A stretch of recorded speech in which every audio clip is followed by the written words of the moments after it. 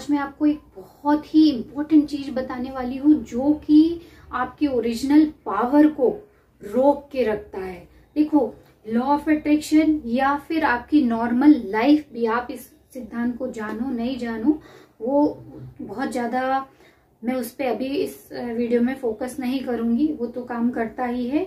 But मैं आज आपको एक इंपॉर्टेंट चीज़ भी बताने वाली हूँ, जो डे टू डे लाइफ में हम फेस कर रहे होते हैं, पर हमको पता ही नहीं रहता है। हम कई बार बोलते हैं ना वी या हमारी गीता में भी बोला है, हमारे जो स्पिरिचुअल टेक्स्ट है, सभी में बोला है, हम आत्मा हैं, हम कॉन्शियस बींग है, इस बॉडी में आए हैं। पर क्या होता है कि हम वो रियलिटी या हमारे पास जो सुप्रीम पावर हमारे साथ एग्जिस्ट करते हैं, ये जानकारी हमको कोई नहीं देता। और दूसरी इंपॉर्टेंट चीज़ जो हमको नहीं पता रहती उसको कैसे यूज़ करके इस लाइफ को अबंडेंस वाली लाइफ बनाया जाए, हर फ़ील्ड में। तो ये चीज़ तो कोई सिखाता ही नहीं है, जबकि छोटी छोटी सी प्रैक्टिस है चाहे ग्रेटिट्यूड हो, चाहे अफर्मेशन हो, चाहे मेडिटेशन हो, यही वो प्रैक्टिस हैं जो हमारे ओरिजिनल पावर को याद दिलाते हैं। बट वो कौन सी चीज़ें हैं जो हमारे ओरिजिनल पावर को भुला देती हैं? आज की वीडियो में मैं यही बताने वाली हूँ। डॉक्टर जॉन डी मार्टिनी का मैंने पॉडकास्ट सुने। मैं कई बार उनके बुक्स को भी ऑडियो बुक्स उनकी सुनती रहती हूँ। तो उन्होंने जो सबसे इम्पोर्टेंट चीज़ बताई, जो मुझे लगा हर व्यक्ति को ये चीज़ जानना चाहिए, और अगर आज की वीडियो से आप ये चीज़ को समझ गए, इसको उतार लिए तो इंस्टेंटली या इस वीडियो के ख़त्म होते तक ही आप अपने अंदर से उस चीज़ को ख़त्म कर दोगे, और अपनी एक लाइफ को हैप्पीनेस की लाइफ को पॉजिटिवली देखने लगोगे या उम्मीद की किरण तो आपके अंदर डेफिनेटली आ ही जाएगी। तो ये क्या है? ये है सात डर। जो कि हमारे ओरिजिनल पावर को रियलाइज़ ही नहीं होने देते या रिकॉग्नाइज ही नहीं होने देते।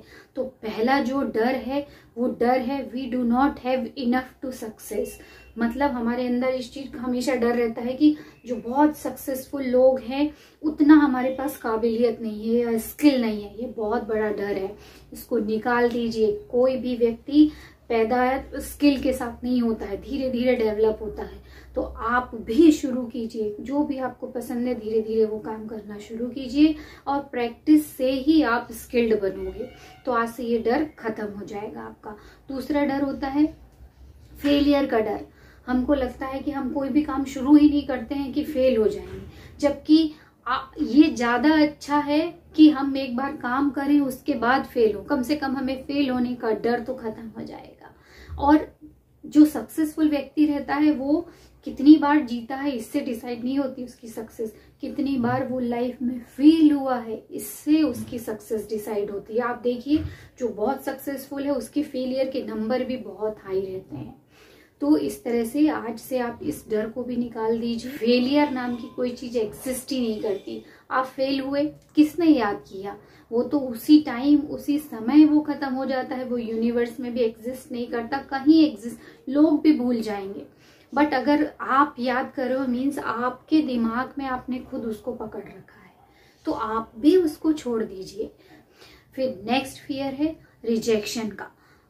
फोर्थ फियर जो है रिजेक्शन का। Rejection from people rejection from society तो हम हमेशा ये डरते हैं कि हम कुछ काम करेंगे तो लोग हमको रिजेक्ट ना कर दें, या हमारे सोसाइटी वाले हमको अलग ना कर दें, या दूसरे लोग हमारे बारे में बुरा ना बोलने लगे। तो इस फेयर को भी खत्म कर दीजिए माय डियर फ्रेंड किसी को किसी से कोई लेना देना नहीं रहता। अगर आज आप सफ़र हो रहे हो तो कौन आपकी हेल्प करने आता है? कोई नहीं आता। आपको खुद ही अपनी ज़िम्मेदारी लेना है। अपना जीवन आपको खुद ही सुधारना है। तो इस डर को भी खत्म कर दीजिए आज से। नेक्स्ट जो डर है, वो है नॉट मेकिंग मनी या मनी लॉस ऑफ़ मनी ये डर भी बहुत इंपॉर्टेंट होता है। ज़्यादातर लोगों के दिमाग में कितने सक्सेसफुल रहते हैं, उनके दिमाग में भी ये रहता है कि ये अगर पैसा खत्म हो गया तो क्या होगा, या नुकसान हो गया तो क्या होगा, या मैं पैसे नहीं बना पा रहा हूँ जितना मुझे चाहिए तो क्या। ये डर है इसको खत्म कर दीजिए, इसको खत्म करने की बजाय ये सोचना शुरू कीजिए कि मैं कैसे अपना जो काम कर रहा हूँ, उसको और अच्छे से कर सकता हूँ। जब आपका फोकस वहाँ रहेगा तो ऑलरेडी मनी रहेगी और दूसरी बात लॉस की तो कोई भी चीज़ परमानेंट नहीं है। हर चीज़ को खत्म होना है और हर चीज़ को नए तरीके से फिर से आना है। ये लॉ है। यूनिवर्स के साथ उस लॉ में आप चलिए बैलेंस क्रिएट कीजिए और अगर खत्म भी हो गया तो हमारे पास कैपेबिलिटी हम फिर से बना सकते हैं। किसी भी चीज़ के साथ अटैचमेंट नहीं रखना है। मनी का फ्लो आपकी लाइफ में होने देना है। देना भी गिविंग भी है और रिसीविंग भी है। तो इस डर को भी आप खत्म कर दीजिए। नेक्स्ट डर जो है, वो है नॉट अप्रिशिएटेड और नॉट लव्ड ये अक्सर ना डिप्रेशन में लेके जाता है लोगों को। देखो, हम अप्रिशिएटेड की फीलिंग चाहते मतलब लोग हमारी तारीफ़ करें, हम हर ह्यूमन की टोनी रॉबिन ने भी बोला है, जो सिक्स असेंशियल नीड है, उसमें एक नीड है सिग्निफिकेंस मीन्स हम अपनी इम्पोर्टेंस बताना चाहते हैं, हम रिकॉग्नाइज होना चाहते हैं, या हम पहचाने जाना चाहते हैं, हम प्रशंसा चाहते हैं, ये फैक्ट है. हम लव चाहते हैं दूसरों से, ये फैक्ट है. बट इसका ओरिजिनल सोर्स क्या है? आप जितना नीडी रहोगे किसी भी रिलेशन में, आप नीडी ही रहोगे आपके पास मनी आपके पास लव की फुलफिलमेंट अप्रिशिएशन की फुलफिलमेंट आ ही नहीं सकती। तो सबसे इंपॉर्टेंट चीज़ इस नीड को खत्म कीजिए। और ये डर जो दूसरों से है, इसको खत्म कीजिए। खुद के साथ अपनी रिलेशन बनाइए।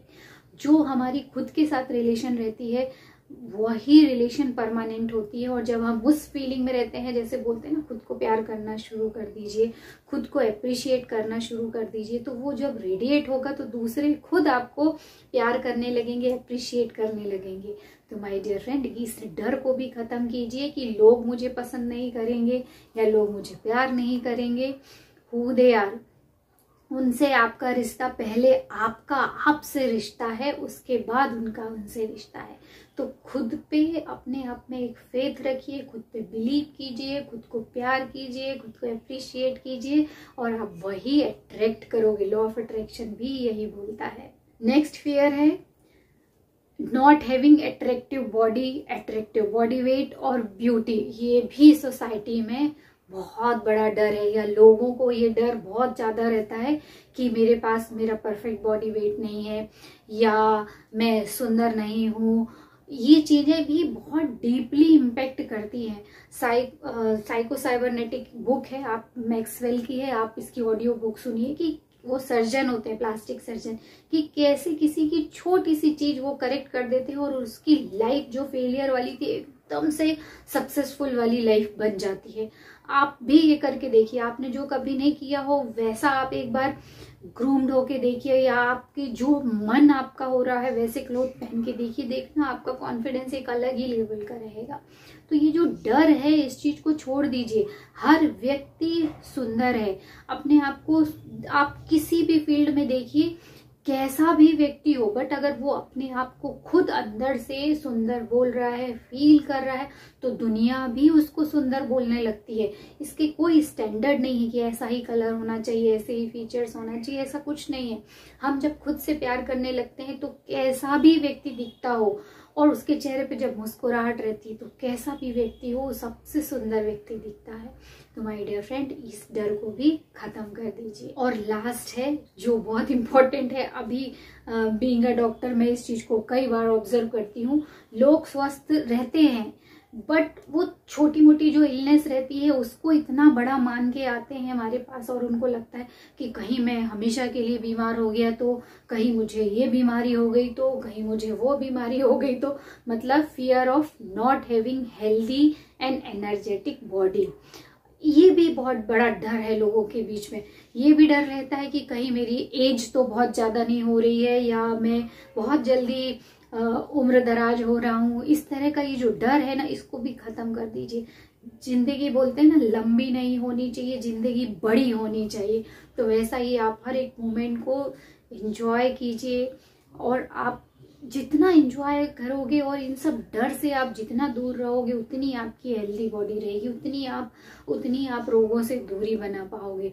और रही बात एज की तो मैंने ये कई बार बोला है age is not the matters of year it is the matter of feeling आप कैसा फील कर रहे हो, ये इंपॉर्टेंट होता है। तो my dear friend I hope all seven fears will disappear right now instantly आज से इस सातों डर को छोड़िए।